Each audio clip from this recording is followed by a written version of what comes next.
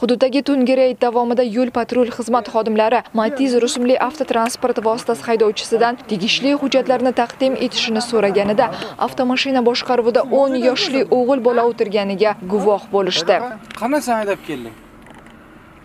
Ha kim berdi senga rulni dadam. Nima berdilar senga haydashga? Man ichganman dedilar spirtli ichimlik ta'sirida bo'lgan ota o'z aybini yashirish javobgarlikdan bo'yin tovlash maqsadida 4 sinfda o'qiydigan farzandidan qalqon sifatida foydalanganligiga nima deysiz? Haydadim shuni haydadim haydovchilik guvohnomasi u yoqda tursin. Hattoki yo'l belgilarini ham yaxshi bilmaydigan bu bolakayni avtomashina boshqaruviga o'tkazib qo'yib o'zini oqlashga urinayotgan otaning vijdoniga qo'shtirnoq ichida qoyil qolmay iloji yo'q. Bola mashinani boshqara bilganida ham dadasi unga bu kabi qaltis jarayonga yo'l qo'yib berishining o'zi o'g'lining taqdiriga bo'lgan befarqligining yaqqol isbotidir.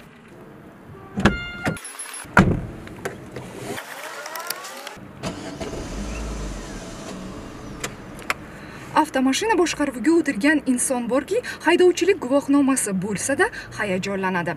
Axir buning uchun katta jasorat kerak. 10 yoshli farzandini avtomashina boshqaruviga o'tirishga ruxsat bergan ota nahotki uning yosh bola ekanligini inobatga olmadi?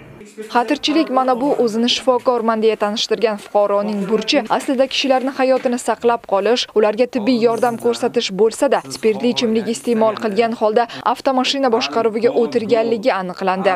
Yo'l harakati xavfsizligi xodimlari tomonidan tegishli tartibda to'xtatilib tibbiy ko'rikka taklif qilingan fuqaro ko'rikdan o'tishni paysalga solib ularning vaqtini olishga urindi. Afsuski, urinishlar besamar ketdi. Tibbiy xulosaga ko'ra haydovchining alkogol mahsulot iste'mol qilganligi aniqlandi va unga nisbatan tegishli tartibda chora ko'rildi. Nazorat tadbirlari viloyatimiz bo'ylab davom etmoqda.